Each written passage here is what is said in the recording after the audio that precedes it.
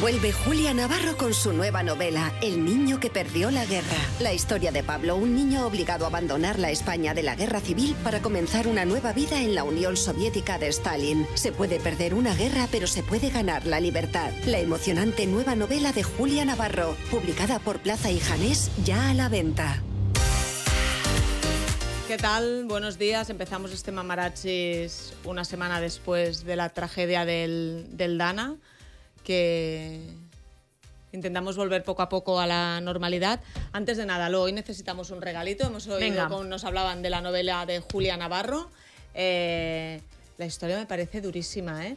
porque envía una mujer, una familia envía a su hijo de 5 años a vivir a, a Moscú en plena época de Stalin.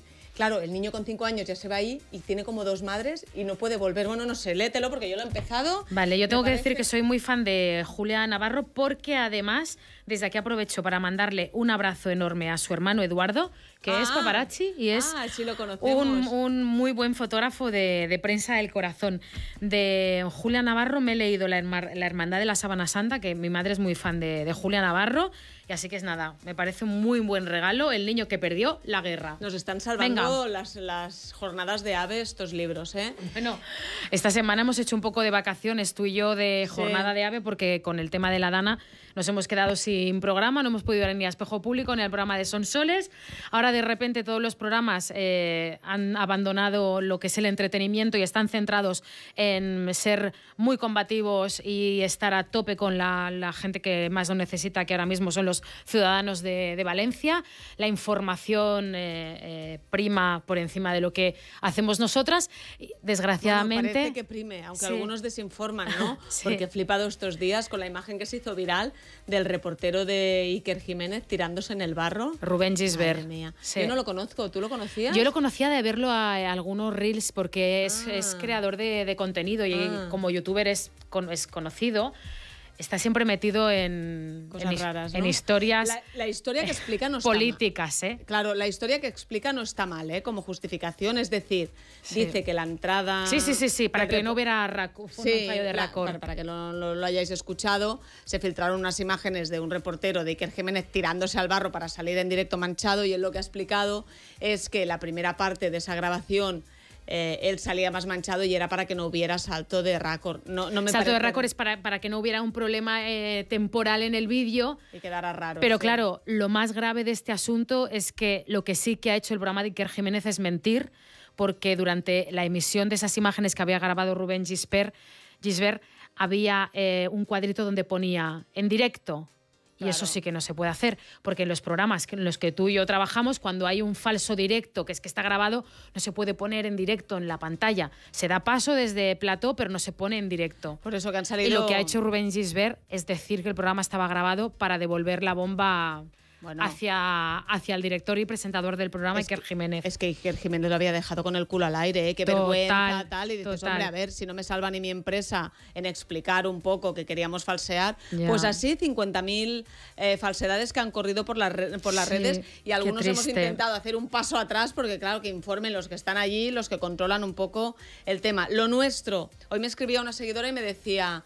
eh, Jolín, las revistas solo sacan a Leticia. A ver, una cosa, las revistas del corazón, luego mm, me ha entendido, las revistas del corazón miran todos los temas desde la perspectiva y nosotros analizamos, ya hay mucha, los informativos son los que dan toda la información, eh, valga la redundancia, de lo que está pasando en el DANA. Nosotros, desde nuestra perspectiva, intentamos un poco continuar con el, con el entretenimiento. Bueno, y que para y- las revistas del corazón, sin duda, fue un día histórico la visita de los reyes de España a.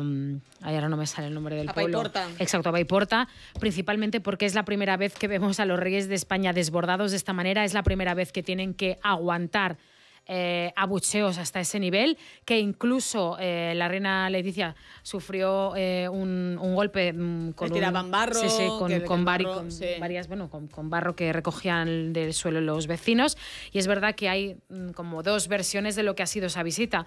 Por un lado, algunas personas aseguraban que no era el día para que los reyes realizaran esa, realizaran esa visita y que por culpa del convoy de seguridad de las autoridades, muchos de los voluntarios no habían podido desplazarse a Paiporta durante las horas que duró la visita. El convoy, si ves las imágenes, entiendes un poco el cabreo de la gente de Valencia, porque el convoy no exageramos, a lo mejor iban 20 coches de policía, muy heavy en, en localidades. El presidente de la comunidad, el presidente del gobierno y de los reyes. En muchas localidades donde aún no había llegado la ayuda ni nada, pues ver ese despliegue solo para que se pasearan los reyes, que sí que yo eh, dije en alguna, en alguna tertulia que he participado, cinco días después tienen que aparecer, pero se ve que es lo habitual. En, cuando hubo lo del, eh, lo del volcán en La Palma tardaron cuatro días porque las medidas de seguridad y todo ellos aparecen cuando está cuando parece que todo está un poco más controlado. Cuando parece que hay algo más de control. Sí que es verdad que yo creo que para la eh, imagen y, y para el momento que está pasando la institución y para la imagen sobre todo de los reyes, tanto de Felipe como de Leticia,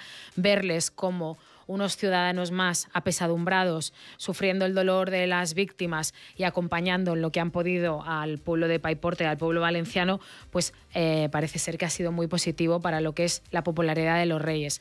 Yo creo que, bueno, en este, en este caso, yo opino que no era el día y sí que es verdad que a todos nos ha conmovido, sobre todo pues los gestos de la reina Leticia, ¿no? Y verla pues llorando. No estamos acostumbrados a ver eso y ha sido histórico ver a unos reyes, ya no solamente de España, a unos reyes, a unos monarcas, pues con el pueblo em, de esa manera. Sí que es verdad que el rey Felipe tuvo que apaciguar eh, a, varios vecinos que le estuvieron increpando. Yo no sé si la reina, yo creo que no fue la reina Leticia eh, las lágrimas que dicen que es por empatía, no sé si estaba incluso asustada porque igual que Pedro Sánchez y Carlos Mazón tuvieron que irse porque sí que a alguno le cayó un palo, no sé hasta qué momento, hasta en qué situación ella estaba un poco asustada porque superada, se la había superada. Sí, porque en algunas ocasiones sí que es verdad que les han silbado desde lejos con lo del caso Nos o alguna persona que puede increpar. Bueno, o simplemente republicanos que tienen derecho a quejarse eh, porque reciben la visita de unos reyes en los que no creen o, alguna manifestación. Acuérdate cuando en el 2017, cuando después de los, del octubre aquí en Cataluña, de la, mm, del 1 de octubre, se intentó en el procés, durante el, procés. las visitas que tuvieron después había manifestaciones donde sí que recibía, pero eran manifestaciones, no era esa cercanía que yo creo que a Leticia la dejó un poco descolocada y es lo que hemos visto hoy en todas las portadas, menos en Ola.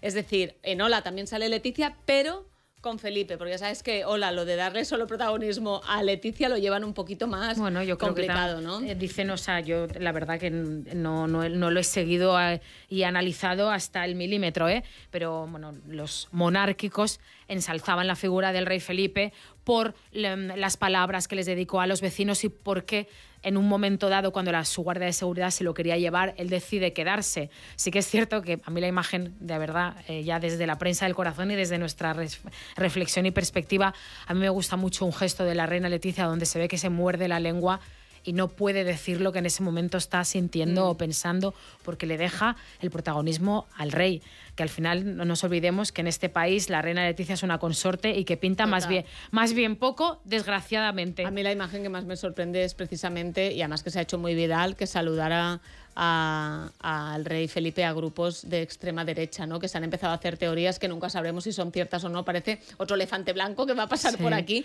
pero que curiosamente a quien saluda y a los chicos a los que se acerca no eran ni de Paiporta y que además eran miembros de, de agrupaciones de extrema derecha, pues eh, deja a toda esta situación que estamos viviendo de la desinformación, porque parece que cuantas más redes sociales, más desinformados bueno, Es que ha habido muchas fake news y noticias hiper desagradables que no hace falta ni repasar, pero que todo el mundo tendrá en la cabeza de si había muertos o no había muertos en según qué lugar. Pero bueno, en cualquier caso, sí que es verdad que la revista Lecturas, Laura, pese a que todo el resto de revistas eh, solo van únicamente con el tema de, la Dana en Valencia y de las víctimas en, en los pueblos valencianos, Lecturas apuesta por otra noticia, una portada que nos ha sorprendido porque se trata de una relación que hasta ahora no conocíamos y coloca en su portada a Álvaro Muñoz Escasi y, oh, atención, a Sheila Casas, que no sabíamos que tenían ni siquiera una relación de amistad. Bueno, ¿no habrá participado en algún programa juntos de tele o algo? Ahora se me escapa un poco porque todas sí, estas están en tardear los dos, ah, de colaboradores. es verdad, porque ahora como hay tanta de mira quién baila, mira quién no baila, y ya no sé más. Mira quién cocina. Claro, dice, ya no sabes ni dónde han coincidido. Sheila Casas, que eh, en los últimos años hemos conocido un par de relaciones, estuvo con un actor que te diré el nombre, no sabrás quién es, se llama Adrián Pedraja, no tengo ni idea, pues lo, he tenido que buscar. Se ve que salía en el secreto este de Puente Viejo, en la serie de ah. Antena 3.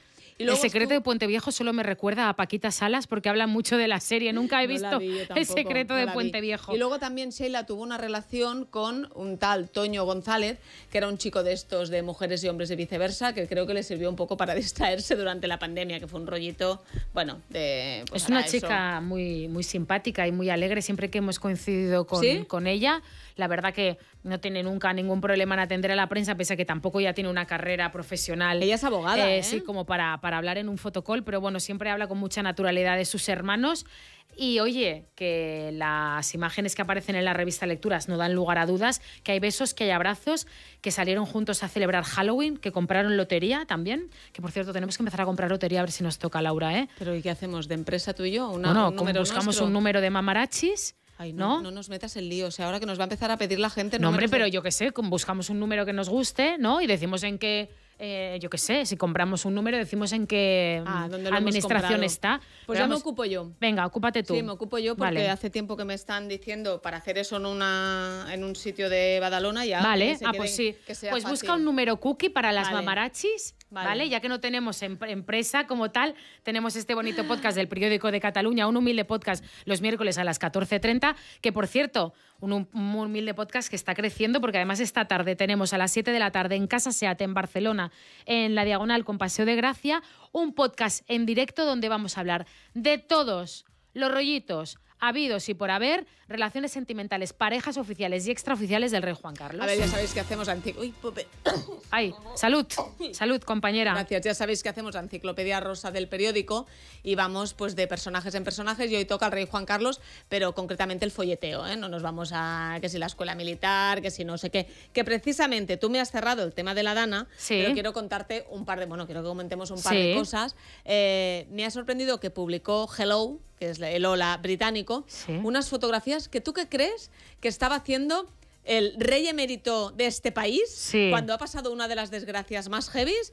mm. dices, ¿dónde estará este señor? Pues bueno, hello. Preocupado estaría, ¿no? Sí, es una cosa que le Estaría preocupado. Estaba hablando quizás desde Abu Dhabi, hablando con, lo, no sé, con el ministro del Interior, con su hijo. Enviando ayudas desde Abu Dhabi con para Felipe, que Con Felipe eh, González y Aznar y Zapatero para ir todos los expresidentes y el ex rey a visitar Valencia. Va a ser que no. no Va a ser que no, que se cogió un avioncito privado debió de pasar por encima del Dana, que de encima, y se fue a Londres y tuvo una cena en... De trabajo, por supuesto. Ah, ¿no? Se fue a cenar con dos de sus nietos, con Irene Urdangarín y con Miguel Urdangarín al Orchis, Orcas, Orque, un restaurante, Orquídea, en, en inglés. Bueno, es igual. Es que ha ido más de una vez. Hemos vale, comentado vale, ese restaurante. Restaurante Orquídea de Londres. Es que Orquídea empieza por O. Ah, o sea, madre de Dios, de verdad. Empieza, es igual porque no podremos ir, pero ya, lo, ya, ya tuvimos imágenes de. Es como su restaurante en, en Londres. Dices, a ver una cosa. Encima de que no estás preocupado, estás de jarana y además eh, ha publicado Monarquía Confidencial que estaba como muy ofendido el rey Juan Carlos por el trato que habían dado en Paiporta a su hijo y que no podía ser que se tratara así a la monarquía. Me digas. Demasiado bien hemos, te hemos tratado, Juancar, como para que encima vengas a la gente desesperada a recriminarles que estén un poco encima quejándose de tu hijo. Me parece que este señor se va a morir sin vergüenza, ¿no? ¿O qué? da la sensación, porque a ver, una cosa, que no te parezca bien, tú tienes que decir, entiendo a los habitantes de Valencia, la situación es súper desesperada y mi hijo estuvo a la altura, yo qué sé, no tiene, no tiene a nadie que les... No, es orquídea, ¿no? Espérate. Es que le estoy leyendo. ¿A que empieza por O? Sí, empieza por O. Ah. Se fueron al conocido club Oswald's, situado en la exclusiva zona de Mayfair. Mayfair. ¿Tú, estuviste en Londres? Era Mayfair. Yo le digo Mayfair. Ah, no, no, igual es Mayfair, es que no, tengo ni idea. Lo del inglés ya pues bueno, estuvieron en el club Oswald's, Irene, eh, Irene y Miguel Urdangarín. Y escucha que la reina Sofía está en, Nueva York con, el, con su fundación. Sí, pero ahí está, representa que está trabajando para conseguir ayuda para han el hecho, Han hecho una, una donación también desde el instituto, desde el Queen, Queen Sofía Institute. Hoy leía en Informalia que la reina Leticia ha decidido hoy reorganizar su a partir de mañana reorganizar su agenda y adaptarla completamente a todo lo que necesiten en Valencia y por el Dana. Digo, a ver una cosa que han pasado siete días. O sea, mm, ¿podemos reaccionar más tarde y peor siempre con todo? Los que están reaccionando más o menos bien son algunos famositos, influencers y fauna variada de la nuestra, que sí que se ha desplazado a, Valencia. Algunos para llamar más atención que para otra cosa, ¿eh? También He visto a Paz Padilla, por ejemplo. Paz Padilla, no, no me refería a ella, ah, de llamar la atención. pero he dicho Paz Padilla porque es la primera que, me ha venido a la mente. Hizo un par de vídeos, dijo, mira, tengo esta escoba, me voy para allí, y sí que ha sido muy proactiva. Miguel Ángel Silvestre. Decían que abrazaba a todo el mundo y les decía que les quería. pero es que ella ella, quiere, ella ¿eh? quiere a todo el mundo. es como Natia Bascal, que quería a todo el mundo esa noche, ¿no? Pero sin ir borracha, claro. Porque Paz no bebe, es astemia. No, bebe nada de nada. La Tebascal ese día tampoco había tomado nada, Laura, como eres. Y tanto que había tomado. Ah, no se puede decir. No, no se ah, puede decir. Ah, vale, pues no había tomado nada. Me, Exacto. Me he equivocado. Te has equivocado. Que estaba también. No volverá a ocurrir. No, nunca más. Miguel Ángel Silvestre, que ya sabes que es valenciano, estaba también por ahí echando una mano. Eh, Daniel Illescas, el que fue novio de Laura Matamoros, ese influencer sí que ha currado muchísimo. Hay gente que se la ve dando información de valor, contenido de valor. Luego ha habido también mucha gente que iba a los centros de recogida de productos de primera necesidad a depositarlos, pues como Mar Flores y Lola Índigo, que han estado en Madrid recogiendo cosas para mandar a, Valencia. Ha estado también Íñigo Nieva, Íñigo Nieva. Con una mascarilla que parecía de ataque nuclear. ¿eh? Se ¿Ah, ha puesto la mascarilla más grande que ha encontrado. Para no ser reconocido, a lo mm, mejor. yo creo, porque no ha pisado el barro desde que tenía tres años y se hizo pipí encima. O Oye, ha habido eh, también personas que han filtrado ayudas que han dado de manera desinteresada y anónima a famosos se ha filtrado la ayuda de Cristiano Ronaldo y su esposa y también un empresario valenciano que ha explicado que Aitana también había hecho una, Aitana, la cantante Aitana Caña había hecho una, una Bueno, es que Aitana eh, hizo una cosa muy potente que es escribir en sus stories. De Carlón, ¿cuándo vais a enviar ayuda? No sé exactamente por qué quería que fuera de Carlón, supongo para Por las botas de agua. y tiendas también para, ah. para tener eh, como sitios eh, de campaña. Y eh, Lorena, que es de Valencia también. La Lorena. la del perfil Hazme una foto así. Ah, vale. Que es de humor. Ha, estado instando a todas las marcas en plan, uy, ¿cuándo va? Ah, yo qué sé, Emma Colchones. Uy, ¿cuándo vais a enviar colchones? Y les contestaban, sí, hemos enviado. O sea, todas las marcas que normalmente utilizan influencers y que se mueven en las redes, vale, pues eh, ahora es el momento de, ayudar. Hemos visto también... Oye, un abrazo a toda la gente que nos está escuchando, que, que son momentos muy complicados eh, para toda la gente que está viviendo en, todas las zonas de, bueno, que han sido arrasadas por, por las inundaciones de la Dana, pero que hay muchísima gente ¿sabes? Que está sufriendo en su casa porque tampoco sabe cómo ayudar, que no puede acercarse a Valencia, mucha gente también que está un poco cansada también ¿no? de que en los medios de comunicación todo el día estén los periodistas hablando de, de las eh, zonas arrasadas, de víctimas, de los muertos que ha habido, que, nuestro pequeño granito de arena en este caso es intentar que nos entretengamos todos un, un ratito y que mira, que eh, Laura y yo incluso nos planteamos eh, aprovechar estos días para vernos a Valencia, pero es que no era tan fácil tampoco poder escogerse un coche y, y acercarse a esa pasar hacia esa zona, ¿no? Pero que nos hubiera gustado muchísimo poder ayudar de alguna manera. La única que, que sí que ha estado ayudando, pero que hoy veía una story de Mosén Miranda y estoy completamente de acuerdo con él, es que Alexia Rivas, uh, sí que se desplazó. Compañera periodista. Compañera periodista de Telecinco, eh, sí que se desplazó y estuvo ayudando y tal. Y luego uno, uno de los vídeos, o no sé si era un directo, lo hizo enseñando, llorando y enseñando sus lágrimas. Yo estoy segura que todos en algún momento allí te impacta la situación y lloran, pero es completamente necesario que te apropies del dolor, que no es el, que no es el momento y no es el tuyo, por mm. mucho que empatices, no es tu dolor como para grabarte llorando desesperadamente. Me genera muchísimas dudas que hagan esto. ¿Sabes? Hay muchas influencias. Que lo quieran poner en un escaparate. Bueno, y que quieran al final convertirse en el centro de un tema que no les corresponde más allá que ir a ayudar. y si no ayudas, no entorpecer pero la situación eh, sí que es verdad que afecta a toda España, pero hombre, afecta a los que están, eh, los que han sufrido.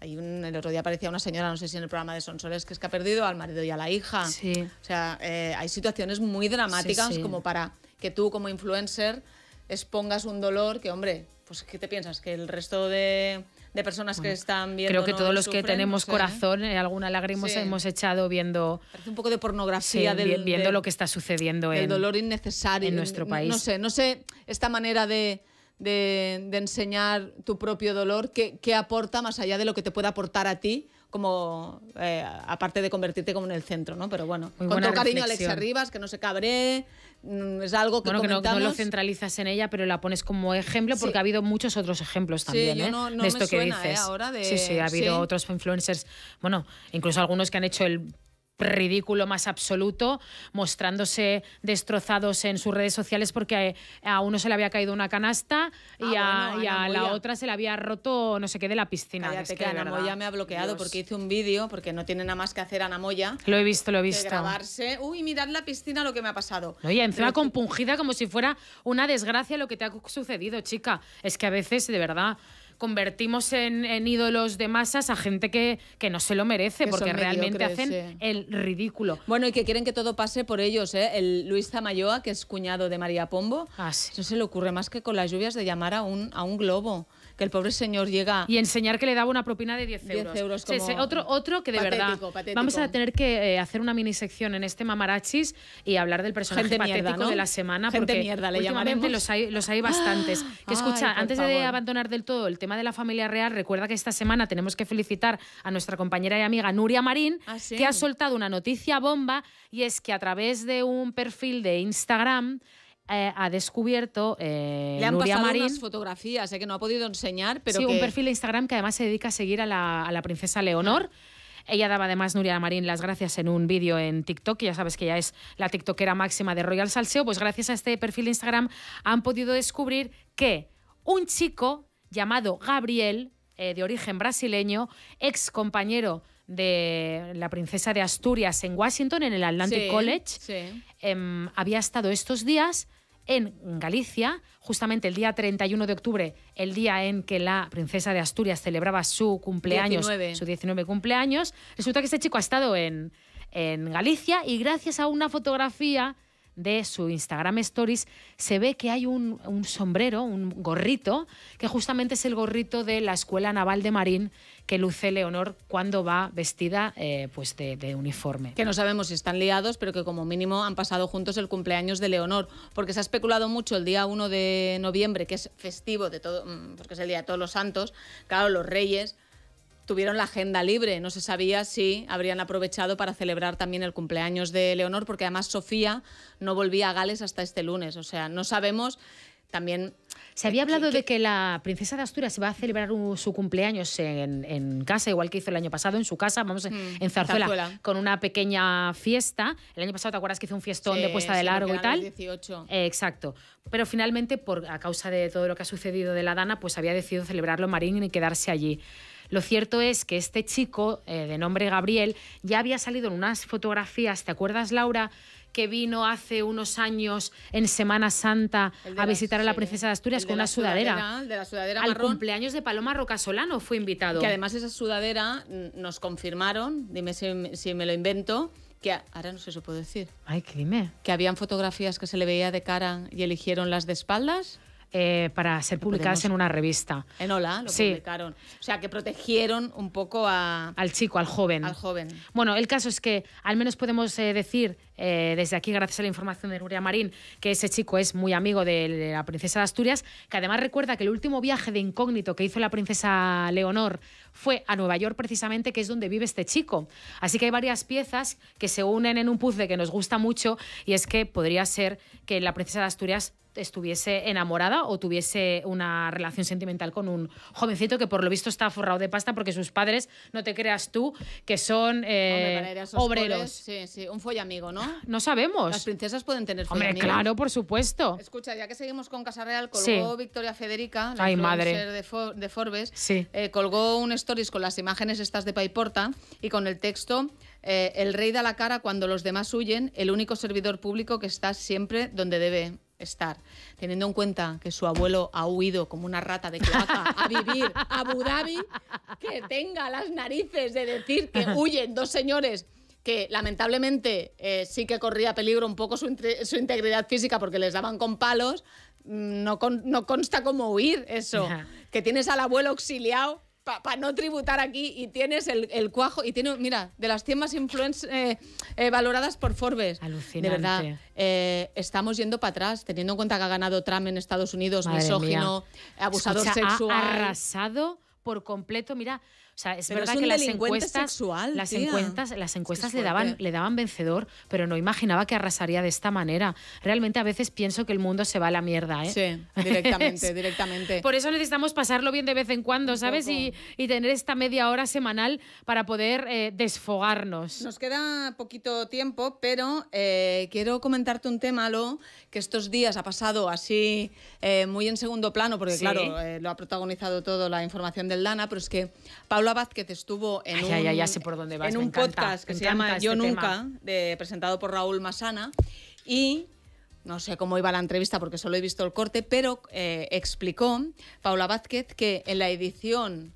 que ella presentó de la Isla de los Famosos en Antena 3, eh, se enteró que un famoso con el que había estado le había metido los cuernos porque ese famoso le estaba pidiendo matrimonio a su novia en el programa y por los, por los números, no, es que ya llevamos cuatro años, y ella dijo, ¿cómo?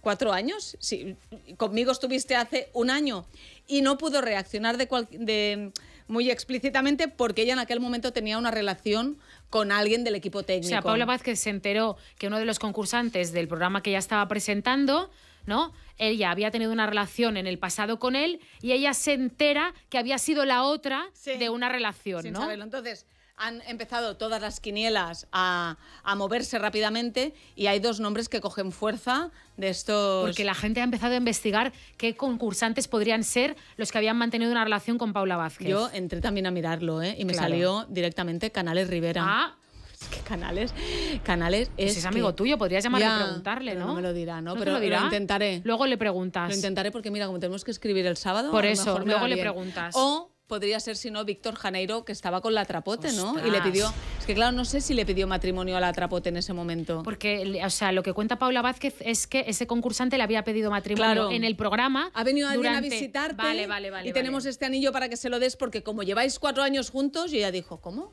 ¿Cuatro años? No me cuadran No me cuadran los si yo números. estaba contigo. Ya. Pero bueno. Y escúchame, sí. y en otro orden de cosas, ahora cuando hemos dicho que hay gente que le gusta absolutamente el protagonismo, me encantaría ah, leerte unas declaraciones que ha recogido hoy la revista 10 Minutos. Sí. Ay, Si dices no me- protagonismo, eh, no no hablarás de alguna Campos. No me quiero reír, ¿eh? pero eh, lo mal que eh, todo se derrumbó para, para Terelu Campos. Ah, ¿ves cómo era Campos? Sí, cuando vi a la reina Leticia con barro en la cara me puse a llorar. He sentido una vergüenza increíble. Tampoco se lo merece un político. O sea, ella ya ya se ha puesto a llorar y ya, pero no se ha puesto a llorar por el drama y todo, o sea, ve, ha tenido que ver a la reina Leticia Para darse para cuenta, darse ¿no? cuenta de que la cosa era un poco dramática, de verdad. Bueno, pues nuestro, nuestro apoyo a, a toda la ¿A gente que nos también? está escuchando y que recuerde todo aquel que se sienta triste hoy que siempre habrá una Campos peor. Sí, ¿no? Siempre pasa eso. Siempre pasa eso, que Bueno. siempre, la Campos, siempre hay una hermana Campos, en este caso, que está sufriendo más que tú. Nos vamos a despedir hoy, pero este mamarachi se lo queremos dedicar a un compañero de Cataluña que ha fallecido, que falleció ayer, Óscar Moré, y nuestro pequeño homenaje, ¿no? Sí, eh, Óscar Moré es eh, un, un periodista eh, catalán que lleva muchos años trabajando en Ser Cataluña, que aquí en, en Cataluña le teníamos mucho, mucho cariño. Había trabajado también en diferentes programas de televisión, en Cirque en 8 TV y también, y también en el club de, de TV3. Presentaban Ser Cataluña Llapis de Memoria, Sí, un y programa antes, muy guay que nos sí, invitó una vez. sí. Y antes eh, un programa que le tenía mucho cariño que se llamaba Especies Protegidas, muy amigo de las, de las mamarachis y además a él le encantaba escucharnos siempre. Había estado muchas veces con nosotras en, en nuestros directos.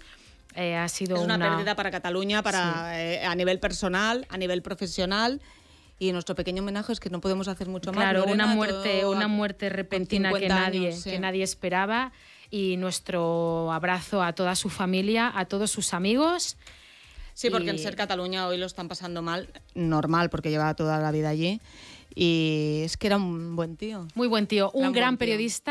Por favor, si tenéis tiempo, escuchar su programa El Yapis de la Memoria, El Yapis de la Memoria, eh, un, programa precioso donde hacía unas entrevistas muy bonitas. Llegó a entrevistar, por ejemplo, hace poco a Joan Manel Serrat, que ya sabes que no da muchas entrevistas, y hacía unos, mm, vamos, unas entrevistas preciosas a través de un hilo argumental muy bonito, que es la música. Era- él era un amante además de, de la música, y es un abrazo muy grande para, para él, eh, allá donde estén. Que la eh, tierra le sea leve, el el apoyo a la familia. Molt bon y- viatge, Òscar Moré, t'estimarem sempre. Y nada, y dejamos aquí este, este podcast por hoy. Nos vemos la semana que viene, Laura, en este podcast Mamarachis del periódico de Cataluña. Y tú y yo nos vemos esta tarde a las 7 de la tarde. a las 7 de la tarde nos vemos tú y yo en la casa Así os esperamos en la casa SEAT, que tenemos directo. Venga. Venga, hasta luego.